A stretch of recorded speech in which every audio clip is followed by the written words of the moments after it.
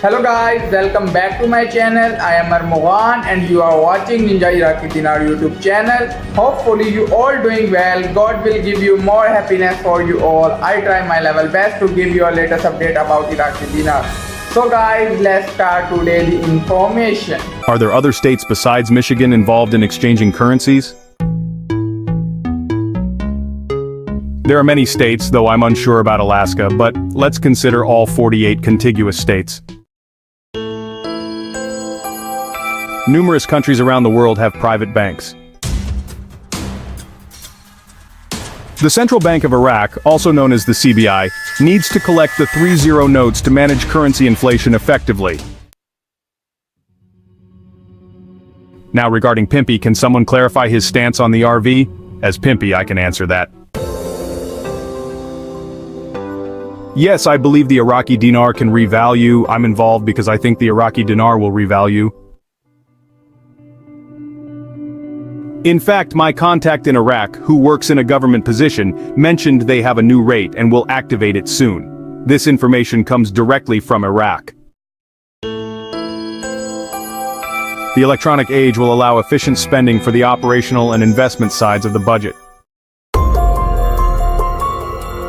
My concern is with the investment portion, as it will likely affect the real effective exchange rate. The government has completed the sale of financial bonds, securing monetary reform with reserves backing the currency. The CBI and K emphasize that the strong exchange rate of 1,320 is maintained by these reserves allowing them to control and adjust the rate as needed. This strength is backed by the billions of dinar they possess. What you're seeing right now, with the alignment of various significant events points unmistakably towards an imminent announcement of a new exchange rate for the Iraqi dinar. The untapped and tapped resources of Iraq, such as gold, phosphate, oil and diamonds, each have the potential to support monetary reform independently. When the Hydrocarbon Law, or HCL is implemented, a new exchange rate will quickly follow.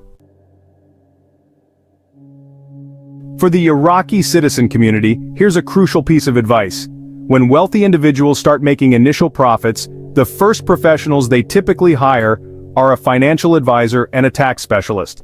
However, this isn't the most effective initial step. Instead, you should construct a financial fortress by setting up an asset protection plan. Lawsuits, taxes, and probate can significantly deplete your wealth. Therefore, the first professional you should hire is an asset protection specialist, which is a rare expertise. Only about 1% of all attorneys specialize in this field. Following the revaluation, these specialists will be in high demand for months.